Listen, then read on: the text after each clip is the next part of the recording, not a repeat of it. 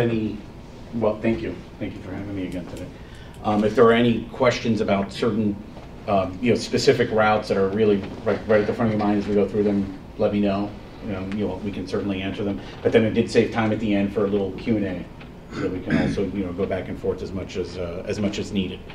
So, this is the, uh, the LRTP update, the Long Range Transit Plan update, which, you know, is sponsored by the APO, the Area Planning Organization, and the Commission. Excuse me. There we go. Uh, Basically, what, what I'm going to do today is do an, uh, an, um, an overview of both the public outreach and input process, which we started about a year ago with, uh, with a series of meetings, and then a summary of the route analysis and route planning process, and you could see, so everyone could see it. Can everyone see the screen, by the way?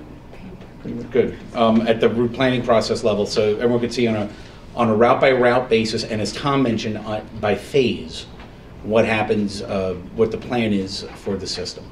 So the outreach was led by, um, our sub-consultant was SRF Consulting. They're out, you know, also out, also have a large Minneapolis office.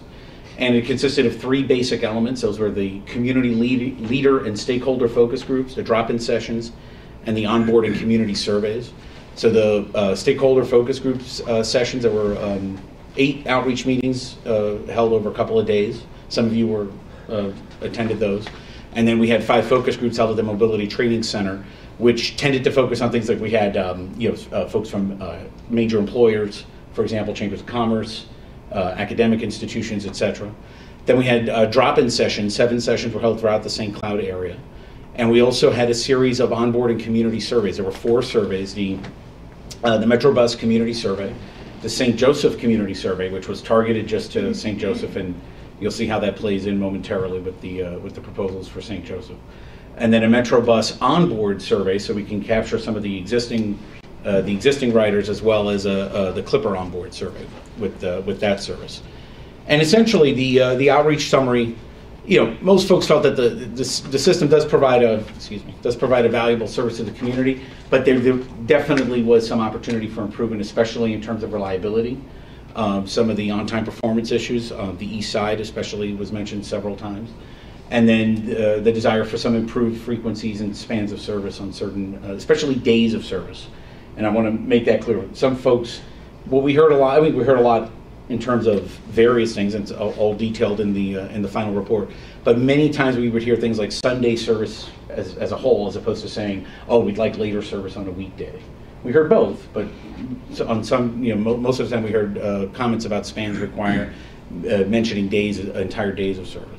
Service would be needed to new areas. uh, Folks mentioned that, but they'd like to see the core areas improved as well, meaning the areas that already have service in, in, in the urban core.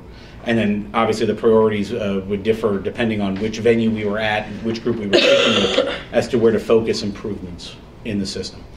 The service plan went from, and you can see here is just a, you know, from the local setting, we did the, uh, the uh, service area profile, we did some outreach and surveys, we went through draft alternatives.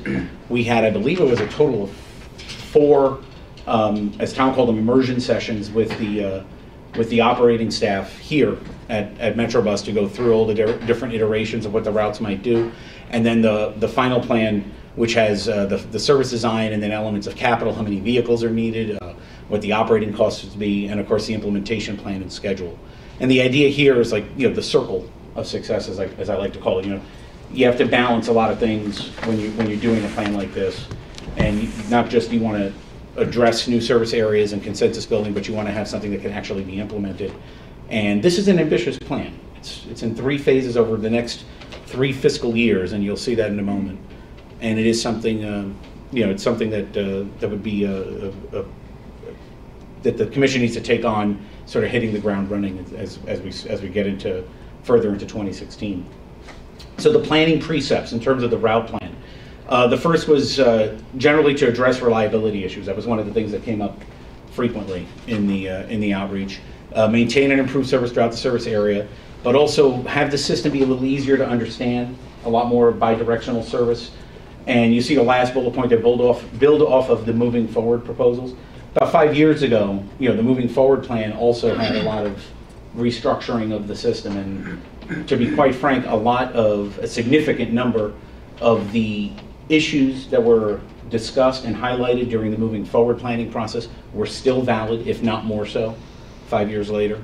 And so you'll see a lot of the, uh, a a lot of the, certain elements of a lot of the proposals will look familiar if you're very familiar with the moving forward process.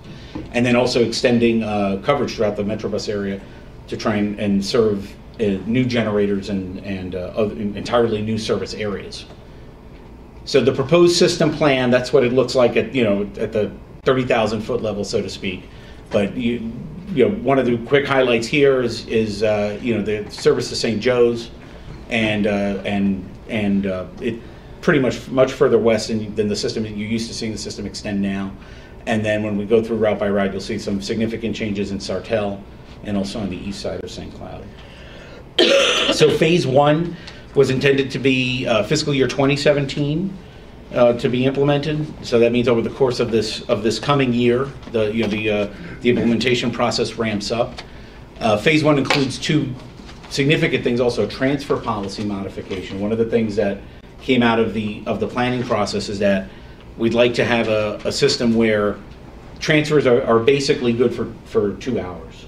You can ride as many buses as you might need to complete a trip within two hours. It doesn't have to be that the third vehicle that you get on, right now you get a transfer and it's good on the next vehicle. The third vehicle you get on, you know, you need to pay, uh, yet another fare. And we said, no, you know, it makes more sense, especially with the coming, you know, use of the go-to card, et cetera, that it makes more sense to adopt a, a transfer policy that's also actually closer to what Metro Transit does in the, uh, in the Twin Cities.